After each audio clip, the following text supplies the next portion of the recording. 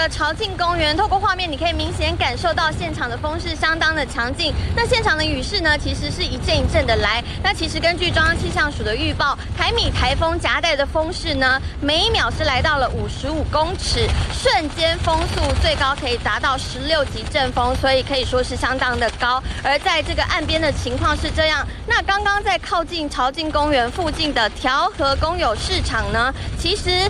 基隆今天是停班课的，但还是有摊商出来摆摊了。来听一下稍早的访问。因为那个菜太多了啊，昨天我老公就赶快采一些啊，本来是不卖，要自己吃。啊，啊，就因为菜太多了，没有办法吃完，就拿来啊。今天现在比较没有风了，所以说就拿下来，有人买我们就卖了。啊，红红台天人看不敢出来，看不能出来。啊，自己的菜没有摆会坏掉啊。嗯，